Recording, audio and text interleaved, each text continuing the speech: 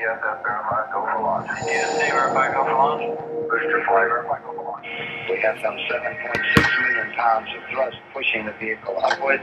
A vehicle that weighs uh, close to six and a half million pounds. On the Apollo mission, the flight to land the first men on the moon. All right, this is Roger Information Static. The launch team, when you shoot the launch, Godspeed. 10, 9, ignition sequence starts.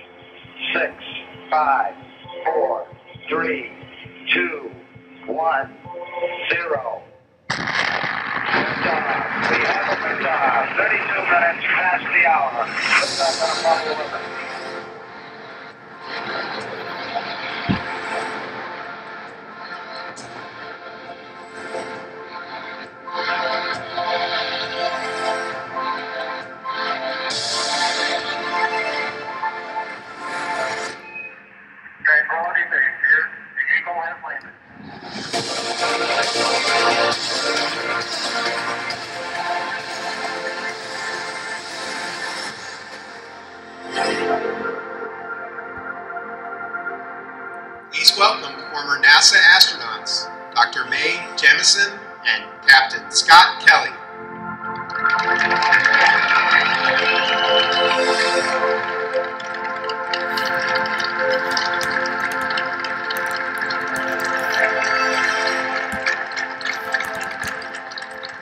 Good evening, everyone.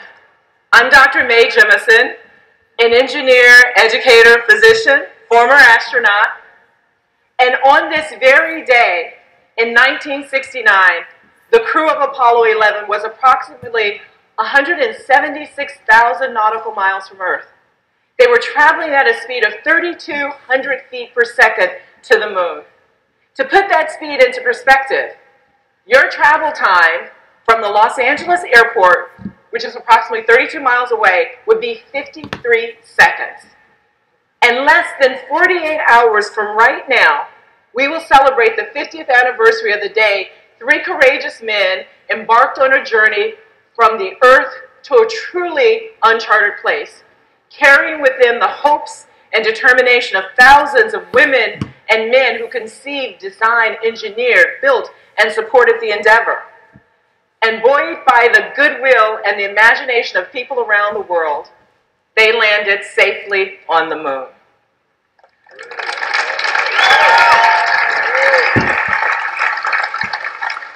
This successful mission forced millions of people to redefine the idea of what was possible. But you see, as a young girl growing up on the south side of Chicago, I knew chapter and verse of the Gemini and Apollo missions, the engineering sequence to get humans to the moon. I was excited about space, science, and exploration. I like dinosaurs too, right? Space and dinosaurs. But my seventh grade teacher told me to consider becoming an aerospace engineer because they're the ones who build spaceships. You know, popular television shows like The Jetsons, Lost in Space, and of course my favorite, Star Trek, they started people to thinking about space. And in a way, real life space exploration fueled science fiction, and science fiction fueled real life space. I'm Scott Kelly, retired U.S. Navy captain and former NASA astronaut.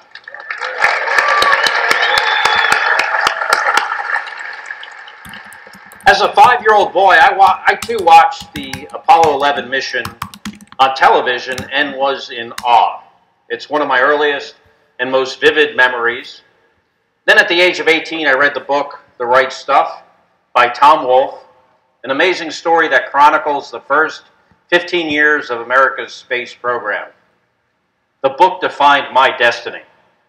I knew right then and there the next step to becoming an astronaut was to first get an engineering degree, then become a fighter pilot, and later a test pilot. Eventually piloting and then commanding the U.S. Space Shuttle, twice launching on a Russian Soyuz spacecraft, and living on the International Space Station for nearly a year were for me, truly, dreams come true. And they were made possible because of the brave and talented aviators, designers, engineers, and others who worked on the space programs before me. The quest to land a human on the moon and bring them back safely to Earth required thinking that wasn't merely out of the box. For most people, it seemed outside the realm of possibility. The scientific, engineering, and creative thinking that led to Apollo 11's success would foster other scientific discoveries and technologies that have benefited us right here on Earth and that propel us further into space. Every innovation builds on the one before it. While in space, as we orbited the Earth, I saw my hometown of Chicago.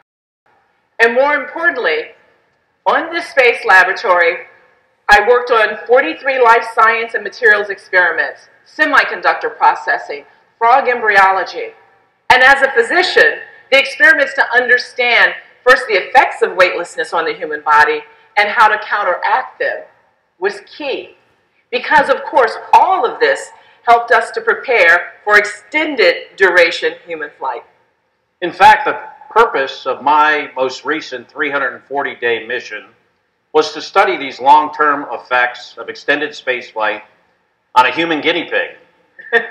Yours truly. In an effort to better prepare us for future trips to Mars and beyond. Bad stuff happens to our physiology while we're in space. We lose bone and muscle, our immune systems are degraded, there are vision effects, even changes to our, our DNA.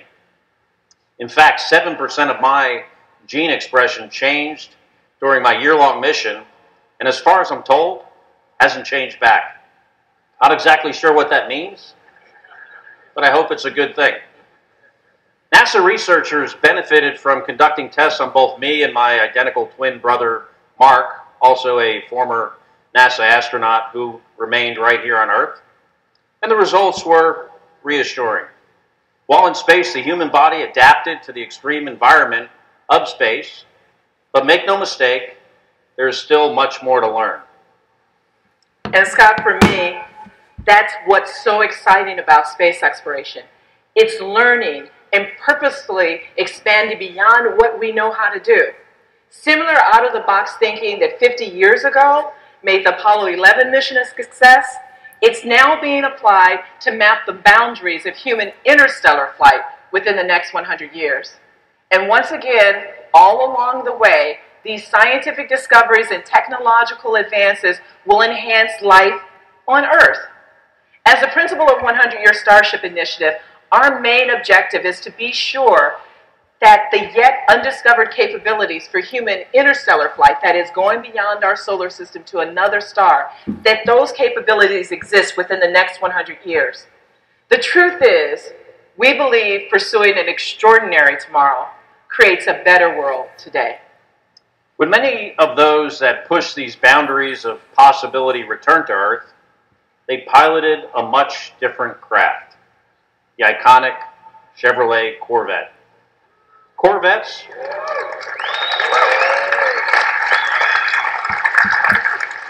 Corvettes and astronauts have long been linked. Pilots like high performance, precise, and safe modes of transportation.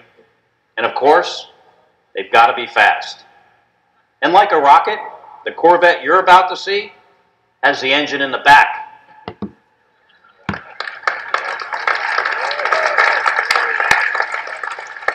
Like many people here and uh, watching around the world, I'm a huge fan, having owned two different generations of the Corvette myself.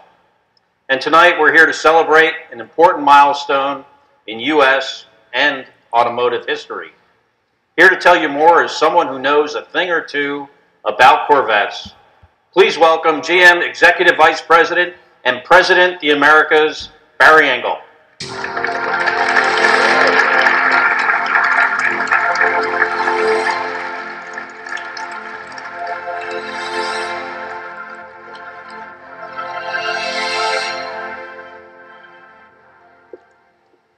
So Captain Kelly and, and Dr. Jemison, thank you. Thank you for being, being here with us tonight.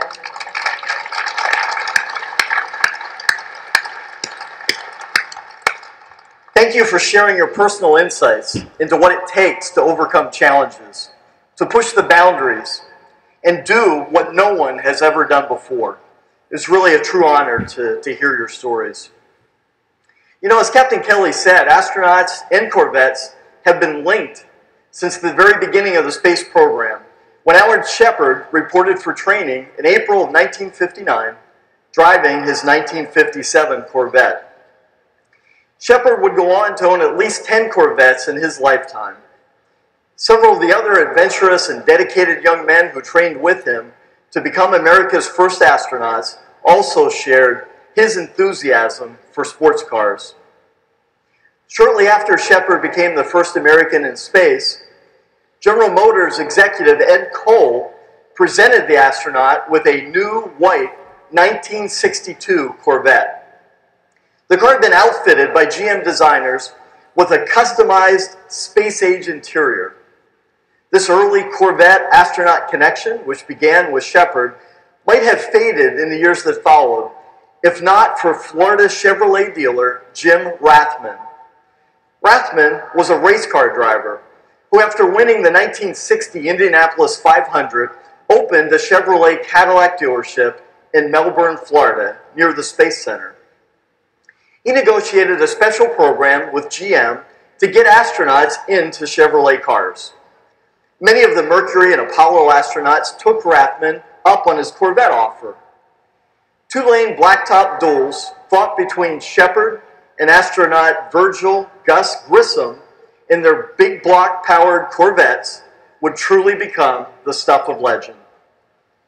In his quest for a competitive edge, Grissom had his last Corvette, a 1967 convertible, specially geared and modified for accepting extra wide rear racing tires. When Apollo 12 astronauts Dick Gordon, Charles Conrad, and Alan Bean ordered new 1969 Corvettes, they asked that the identically equipped 427 Stingray coupes be custom finished in a special black accented Riverside Gold color scheme that was designed by Bean himself. Corvette gained huge exposure when it famously in the June 1971 issue of Life magazine. Apollo 15 lunar mission crew members Jim Irwin, Al Worden, and Dave Scott had been photographed with their Corvettes in a training version of the first lunar rover vehicle, or moon buggy, which they would deliver to the moon. The Apollo 15 crew members, their Corvettes were each a different color red, white, and blue. Dual racing stripes on each car completed the colors of the American flag. Almost everyone has a story of the first time they saw a Corvette.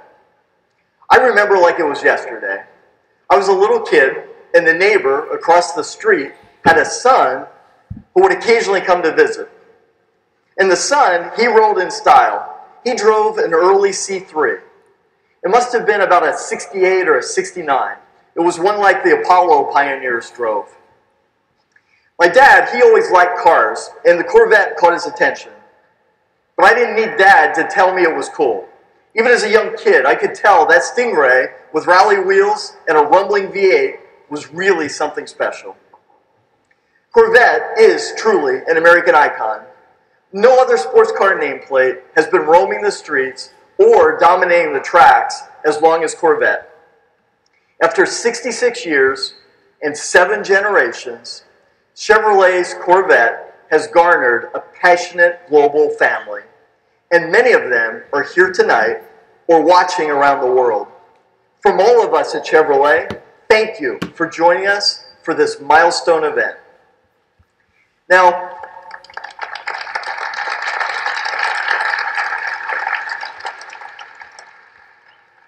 I could literally spend the entire show listing the thousands of Corvette's achievements. But first, there isn't enough time. And second, I'm sure I'd miss something that would cause a, a fantastic and passionate debate. It is this passion for Corvette that unites our fans and our customers. This same passion drives our designers, our engineers, our suppliers, and of course, the entire manufacturing team here in the U.S., specifically in Bowling Green, Kentucky, where we proudly build this great car.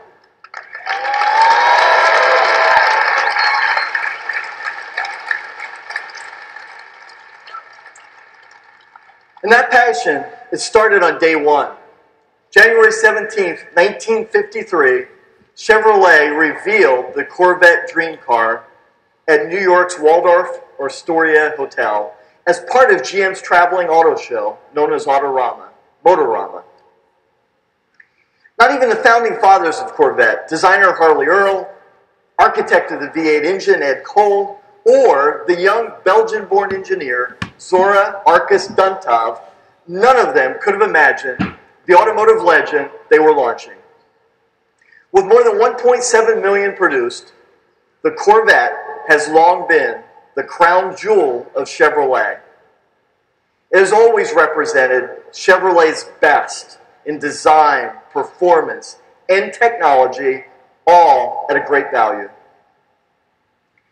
Like their kindred spirits who made aviation and space exploration possible, our designers and engineers have been similarly inspired by every generation of Corvette to push the technical limits of propulsion, materials, precision engineering, design, and aerodynamics.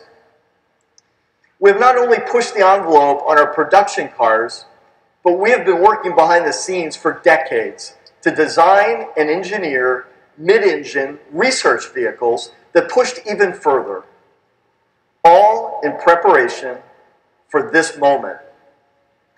Earlier, Scott and Mae outlined the importance of creatively blending engineering and design to make great things happen, and the importance of focusing on every detail. The next generation Corvette is not just about imaginative breakthrough engineering or breathtaking design. It's about both. And it's about every detail reimagined. What you're about to see is a milestone achievement for GM, for Chevrolet, and for Corvette. This car is a powerful testament to the creativity, imagination, discipline, and perseverance of the men and women who had the courage to dream and journey to places where few, if any, have ever gone before. Ladies and gentlemen, the all-new 2020 mid-engine Corvette.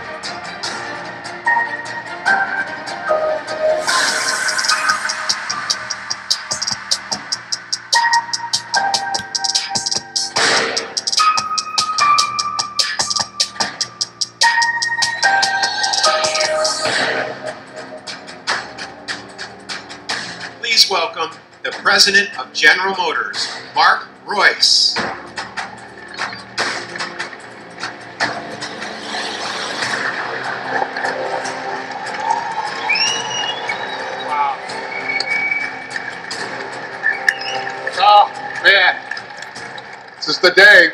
Well, finally, here it is, ladies and gentlemen. What do you think?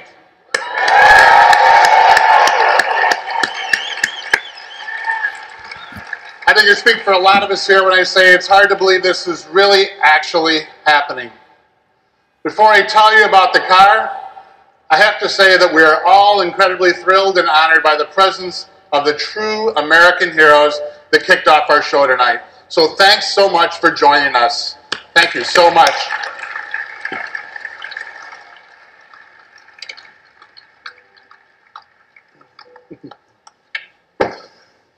I mean, I was a little kid, and watching these grainy images, I was completely blown away by the moon landing, and the lunar lander, and the man walking on the moon.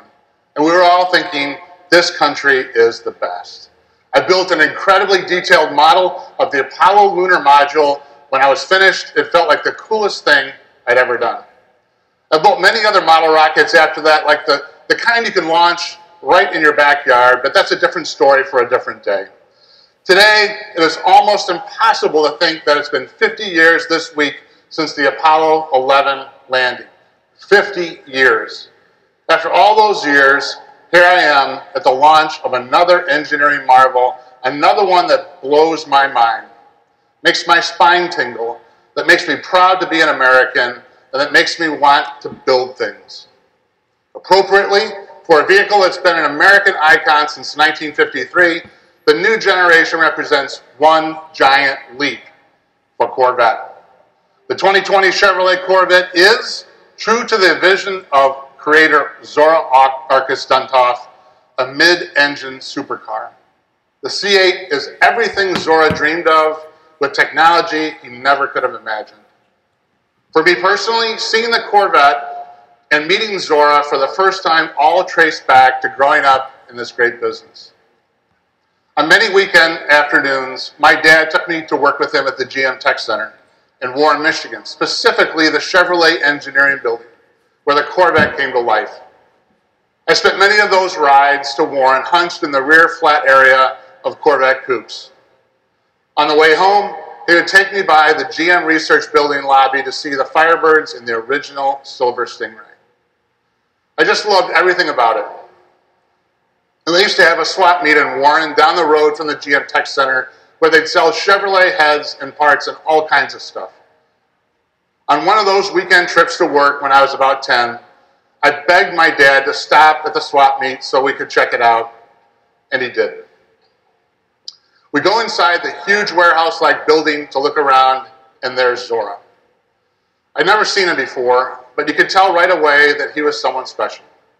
He was sitting there holding court, signing all kinds of things for all kinds of people, and it was just so cool. Such a great moment. It all contributed to the aura of Corvette for me and reinforced what I already knew I wanted to do with my life. That's why it's so special and so exciting for me to be up here on this stage with this car. This car, the all-new 2020 Corvette, is one that changes everything. With every succeeding generation since 1953, Chevrolet has worked hard to make Corvette better and better.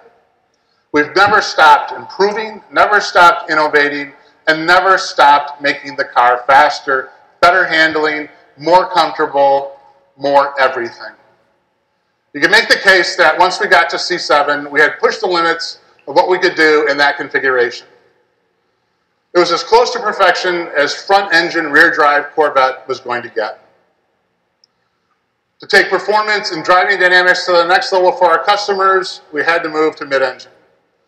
And that's what Zora had always wanted, of course. In 1959, exactly 60 years ago, Zora and his team went to work on developing Chevrolet Engineering Research Vehicle Number 1, commonly known as CERV-1. CERV-1, which made its debut in 1960, was a demonstration of what happens when you push the boundaries of engineering and design to develop a mid-engine race car. What made CERV-1 so unique was how light and powerful it really was. The car only weighed 1,600 pounds, and the body accounted for 80 pounds of that.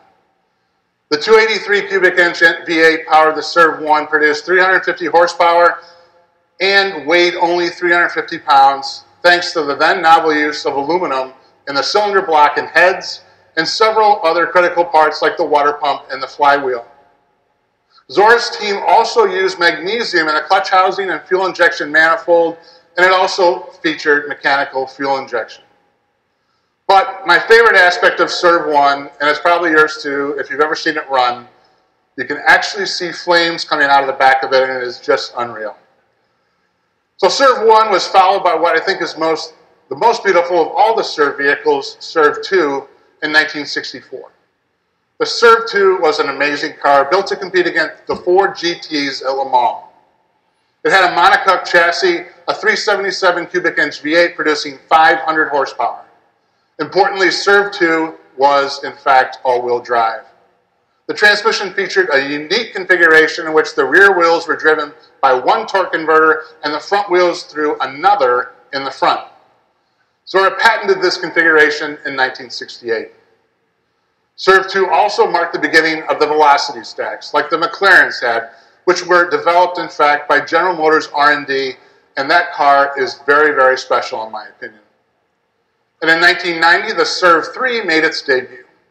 I was already working at the company, so I remember it being built around the time we were spending a lot of time at the GM Proving Ground working on sort of the holy grail of a true active uh, suspension system. CERV 3 did have that yaw control and kept it stable through the active suspension, and it had active aero and other advanced technology on it. Like its predecessor, it had an all-wheel drive mid-engine configuration.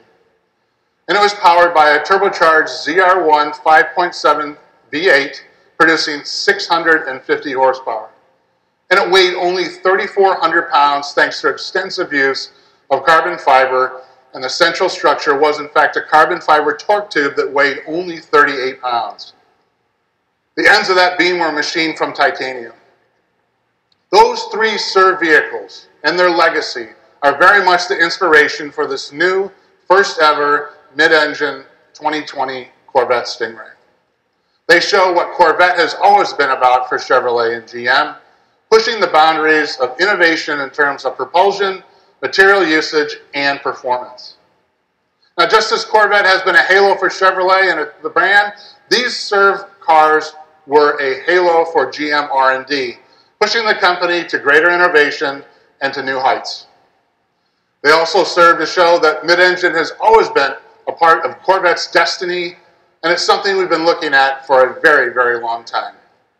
All along, it has been absolutely paramount that we keep Corvette true to its roots of attainable performance. Mid-engine has historically posed a challenge to this mission.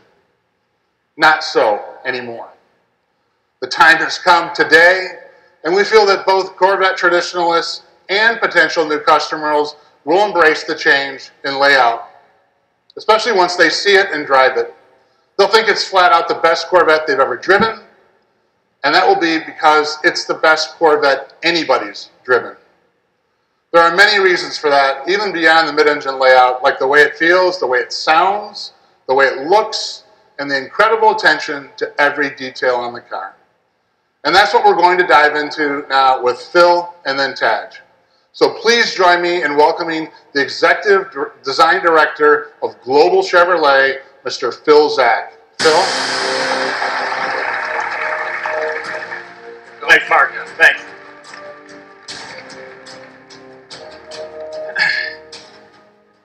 Thanks, Mark. Uh, at GM, every time we take on the task of designing a new Corvette, it must build on its storied history and push towards the future.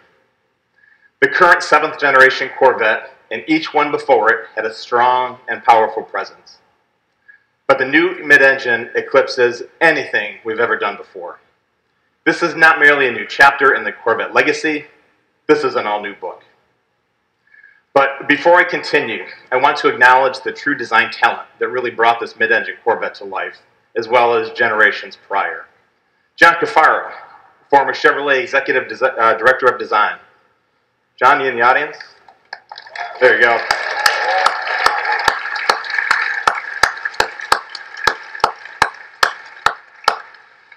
And also Tom Peters, former Corvette Chief Designer. Tom, please stand.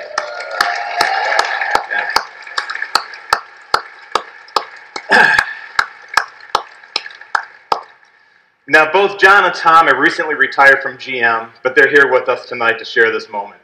Uh, their legacy and talent will forever live on with Chevrolet and into the future with this new stunning 2020 Stingray. Uh, I hope you'd all agree with us.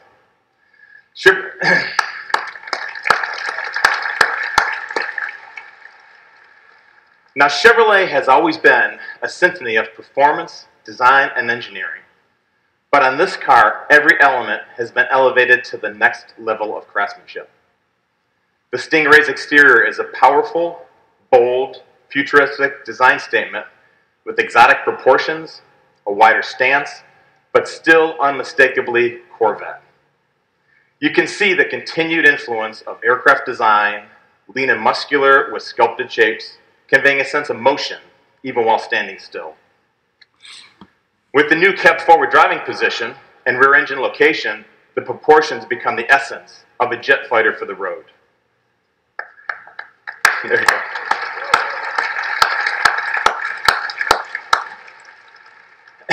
As you would have expected, we've maintained some of the essential Corvette design cues that are timeless and transitioned well into this new mid-engine configuration. For example, the bold front face with LED lights and aggressive dual-element DRL signature proudly say Corvette. The strong fender peaks over the front wheel and rear quarter give the Corvette the expected athletic, muscular appearance. The sleek sculpture is low, taut, and narrow driven. And the horizontal crease down the body side is the main design element that gives Corvette its sleek appearance and anchors the fender shapes and aggressive side intake. The purity of this feature is so significant that we hid the door handle releases underneath the side intake to keep them clean and uninterrupted look. Now as you move to the rear of the car, the dual element tail lamps are uniquely Corvette with an enhanced three-dimensional execution.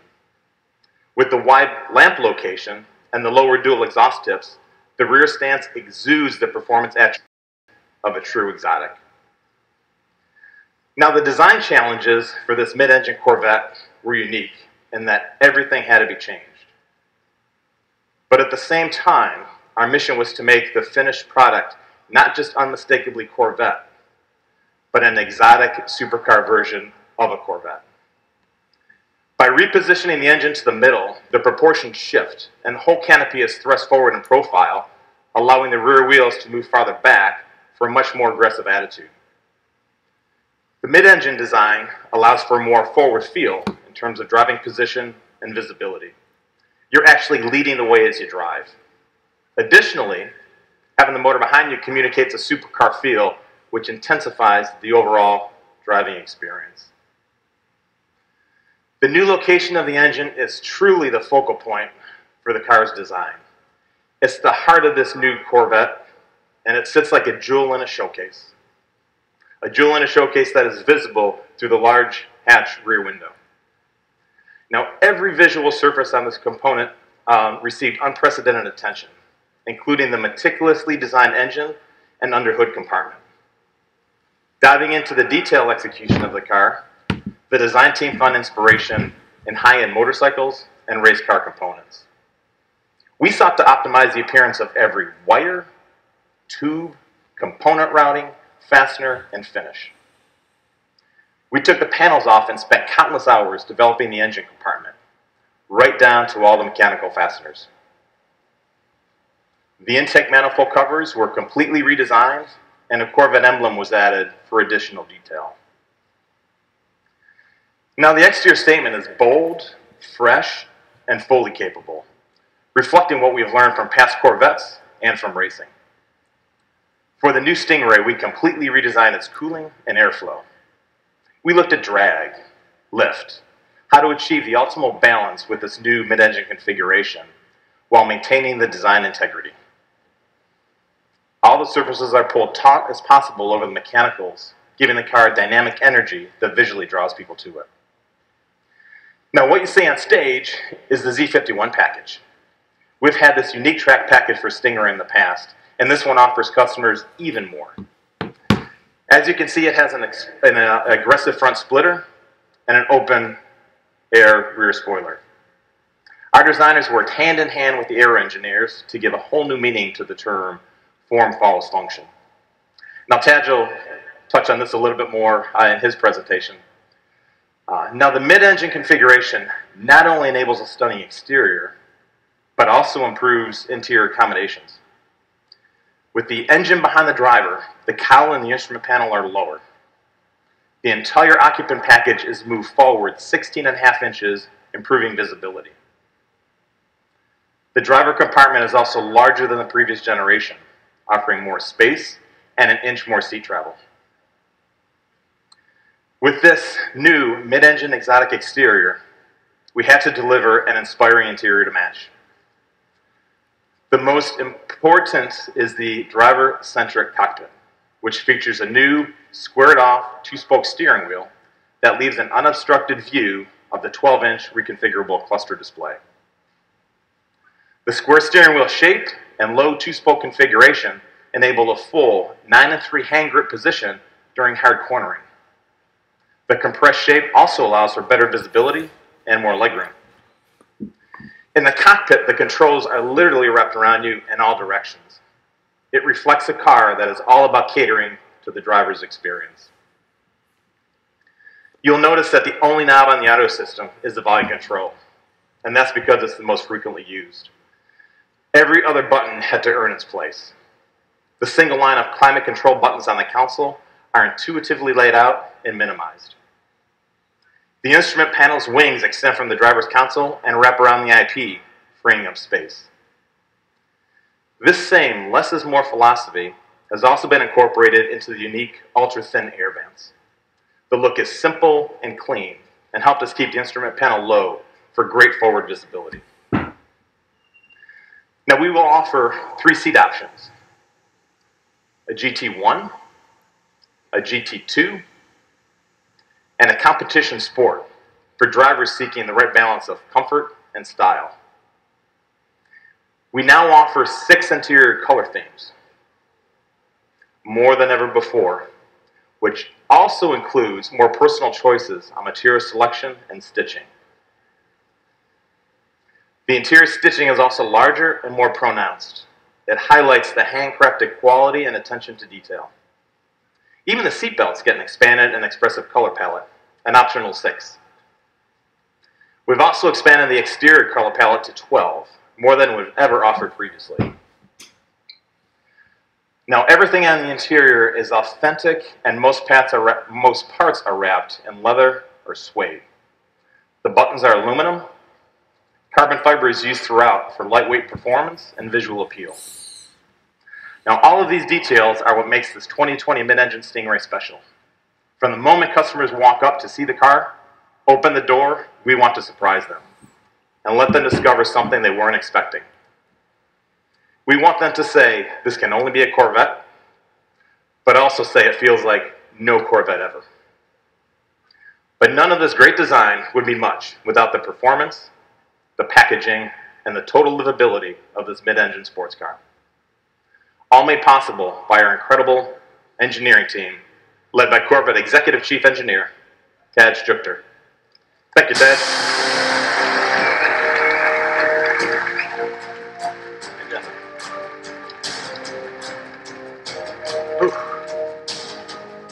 What a night. Been a long time coming.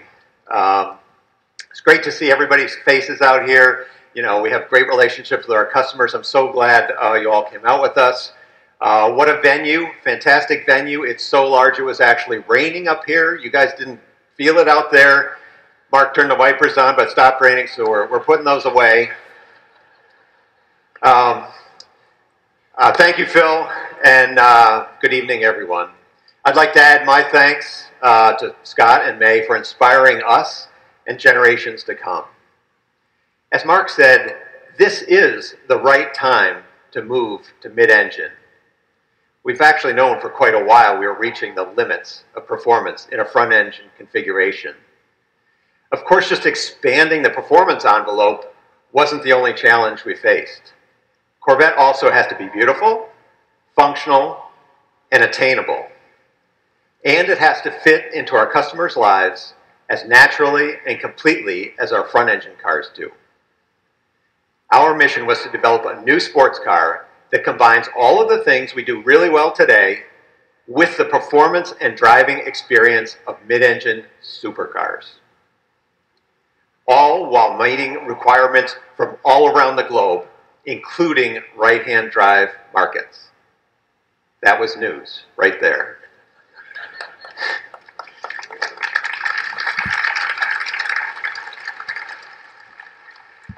To do this, we had to develop the analytical tools and knowledge necessary to engineer world-class mid-engine cars on our very first attempt.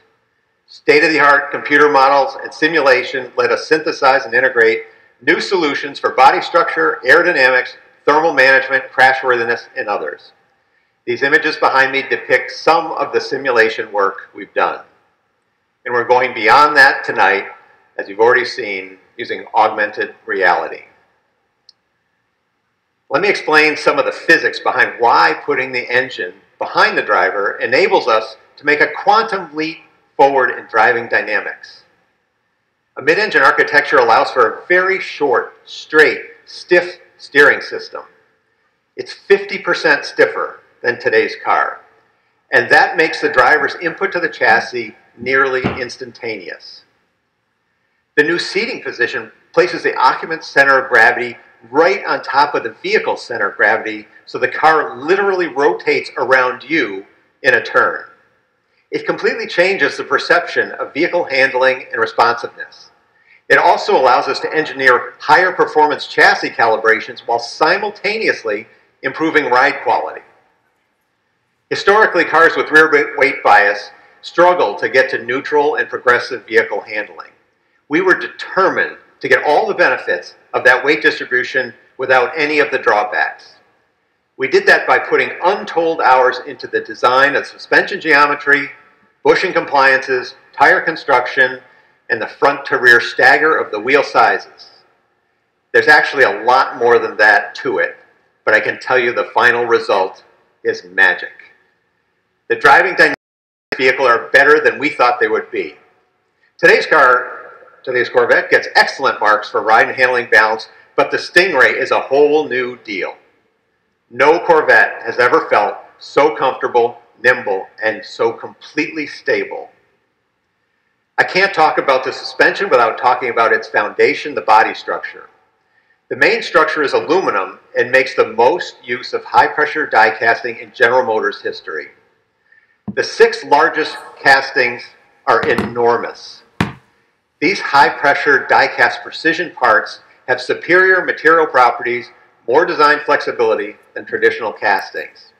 They are used throughout the car to minimize the number of joints and put the material exactly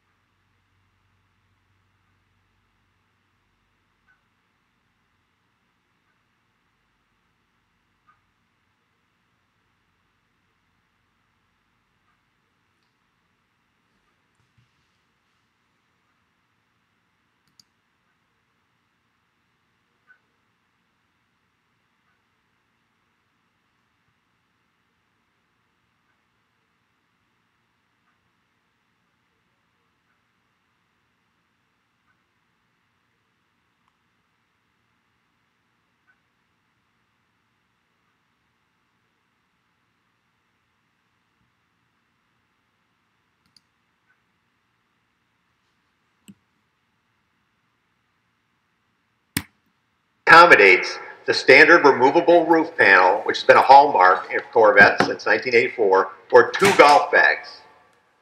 In fact, even the five-piece luggage set that we custom designed to completely fill the back of the current car fits perfectly in this new car. Protecting that rear trunk, we have the automotive world's first curved, pultruded carbon fiber bumper beam. This is the lightest and strongest possible structure for this very important part of the car. And although luggage room is not at the top of most sports car customers' reason to purchase, we know it improves the car's bandwidth. What I mean by that, it does a lot of things well. Of course, we want the Corvette to be an amazing track weapon. We also want it to shine as a daily driver and as a long-distance touring machine. Another way we expand bandwidth is through customizable driver modes. The four familiar driver modes we introduced on the current Corvette return for 2020. Weather, Tour, Sport, and Track. Customers will find even more vehicle characteristics involved in tailoring the driving experience in each mode. New for this generation, we have what we call Z mode. Z mode lets you customize every vehicle attribute we offer and make it accessible with the single push of a button. So for example, if you like a certain setup for a particular track, instead of wading through menus every time you head for pit lane, you hit the Z, but, Z mode button and off you go. As Phil mentioned, the new Stingray will have the Z51 package. It includes a long list of track-focused features like performance tires, larger brakes, electronic limited slip differential, more aggressive gearing in the transmission, additional cooling capacity, and aerodynamic content. The aero content includes additional brake cooling and a front splitter and rear spoiler that actually create full vehicle downforce and confidence-inspiring balance on the track. With more weight on the rear axle, the electronic limited slip differential is more effective than ever, giving the Stingray the optimum handling balance through every corner and the ability to put power down like never before on corner exit. With more weight on the rear axle, the available performance traction management has been refined for greater acceleration and more consistency across a wider range of surface conditions. I'm just scratching the surface of what this vehicle does, can do, and will do. Many of our features are enabled by our new digital vehicle platform. This new electrical architecture sends signals much faster, provides state-of-the-art cybersecurity, and over-the-air reflash capability. We are introducing our second generation of the Performance Data Recorder, which will now have a database of track start finish lines.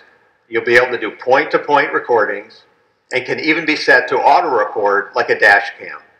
Of course, all the video is high definition. Other features include a 14-speaker Bose Performance Series audio system, the highest level we've ever done, and a rear camera mirror, but we put the camera on the roof, so it's high and forward so you can better monitor your blind spots. There's even a front lift system capable of raising the nose up to two inches.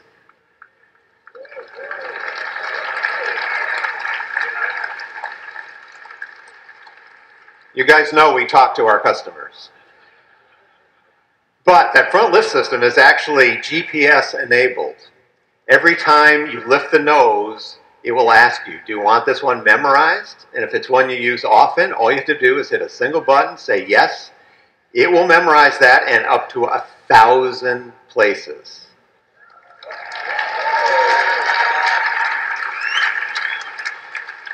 Every time you approach, it'll automatically lift. You don't have to do anything. Okay, uh, you've probably been waiting to hear about the drive lines, the performance stuff. I'll talk about the beating heart of the Corvette, the engine. In a world quickly migrating to forced induction, small displacement engines, we are bucking the trend and continuing to advance the development of our famous small block V8.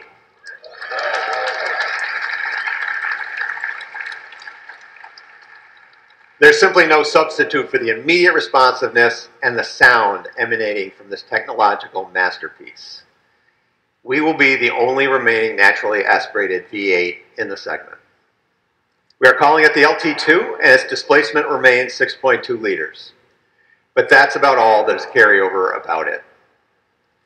With a performance exhaust, It was recently SAE certified at 495 horsepower and 470 foot-pounds of torque, making this the most powerful Corvette Stingray ever.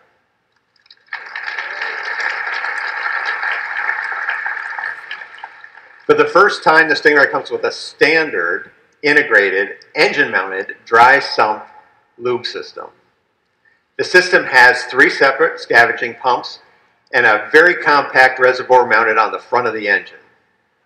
The low profile oil pan reduces mass and lets us mount the whole engine lower in the chassis than we've ever done before. The oil cooler has even more capacity. The bottom line is this new lube system has been absolutely bulletproof during our testing at tracks like VIR, the Nürburgring, and our own Milford Road course. That engine is paired to our first 8-speed dual-clutch transmission, or DCT. This features a very innovative electronic transmission range selector, a masterpiece of engineering art and design that will become a benchmark for the industry. The DCT provides lightning fast shifts and excellent power transfer. Simply put, the DCT shifts gears faster and better than any human can. It offers a spirited and connected feel of a manual and the premium driver driving comfort in an automatic. It truly feels like you're getting the best of both worlds. We've set the DCT up with a very low first gear to leverage our additional traction at the rear to get the car off the line very quickly. Gears 2 through 6 are closely spaced to keep the engine near the power peak on the track. Its tall 7th and 8th gears make for easy long distance cruising with low mechanical stress and excellent fuel economy. The LT2 engine and the DCT in combination with this new architecture make the new Stingray a very quick car. We are seeing 0 to 60 times under 3 seconds.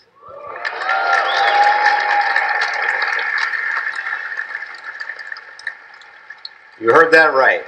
Z51 Stingray under 3 seconds. That puts the Stingray in the company of some of the world's quickest cars and in our own history, only beaten by our 755 horsepower ZR1. Now, I talked about a lot of changes, uh, but the truth is, we have not changed the essence of Corvette. Corvette is all about freedom and the call of the open road. It is a designed in America, built in America, road-going private jet with first-class seating for two that will take you places you never thought you would go. In short, the Corvette is an attainable dream car. That has been true for 66 years, and the 2020 Stingray makes that truer than ever. We're welcoming the cars back to the stage. Driving these cars are actually two of our uh, team members, uh, our development drivers on my right, Alex McDonald. Thank you, Alex and Michael Petrucci. And you'll see many, many, many of our Corvette team members here uh, to talk to you uh, at this event. They and the thousands of men and women at General Motors have spent countless hours delivering on this mission. And I personally want to thank them all. I'm so proud of this team. Before I invite Mark Reuss back up the stage, I'd like to thank him and the entire leadership team at General Motors for their support. Without them, this would not have been possible. Mark, the stage is yours.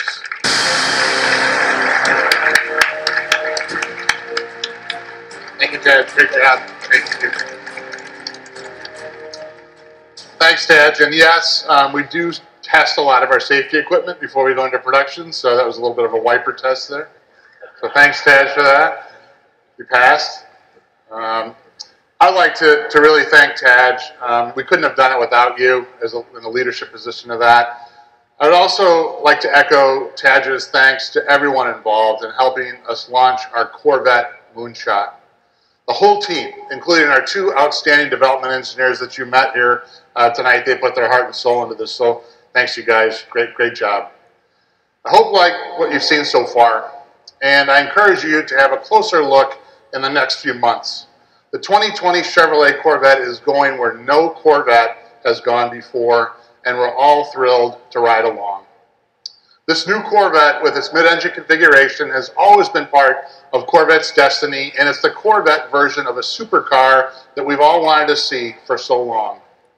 Corvette has always been about beautiful design, leading technology, amazing performance, at an unbelievable value. I know many of you are wondering where the new Corvette will be priced. Yes. While we're not ready to announce all the pricing details, no, no, no, hang on, hang on. What I can share with you tonight is this. When the 2020 Corvette Stingray goes on sale in the U.S., it will start at less than $60,000. So it's pretty, pretty great. Thank you. Yeah, it's. Uh, I mean, this is what Chevrolet and Corvette's all about, right? I mean, uh, this is what our engineers and our teams strive for. Where else can you get a supercar that goes zero to sixty in less than three seconds for this kind of money? Unbelievable. Unbelievable. Now, our customers can reserve their 2020 Stingray today. And we've got a new system called New Reserve Now program that is live on Chevy.com. So Reserve Now program. It's a new program that Barry and our IT team and our vehicle sales service and marketing team has put together, and it's incredible. Or, of course, you can go to your preferred Chevrolet dealer. So um, that's a great, great thing, and it's, it's a configurator, and you can actually look at the car, you can see the car, you can price the car, and it's something that we haven't had before. So thanks for, for doing that to our whole team that has uh, done that. It's, it's fantastic. So um, thank you for, for doing that, Barry and the team. It's, it's great. So we can do that live right now. But I got to tell you, we are just getting started with Corvette. If you are one of those who like and enjoy driving, you owe to yourself to try this car.